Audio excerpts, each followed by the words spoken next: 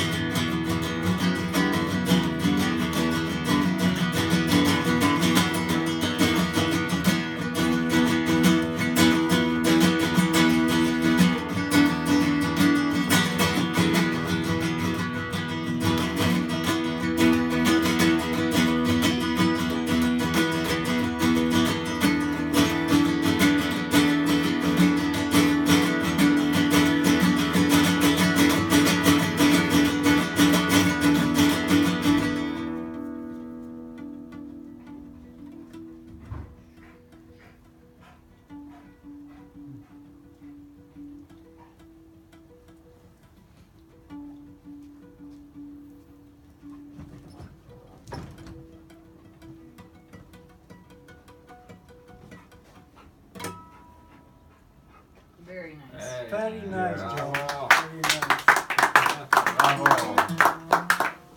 Nice.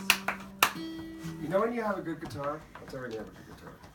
When you take a guitar in a modest case, Uh-huh. well, listen, It's a wooden guitar, and you go from warm to cold to warm, and it stays in tune. Oh, yeah. Mhm. That's when you have a good guitar. That's, It doesn't Thank matter how you, much. George. You're welcome, Uncle. I wanted to do this for you, and thank you so much for, for bringing the guitar so I could do what do this for Uncle. I wanted to play this song for him. Thank you. Aw, it's a great Yeah. song. Great It's song. awesome. Hey, uh, I was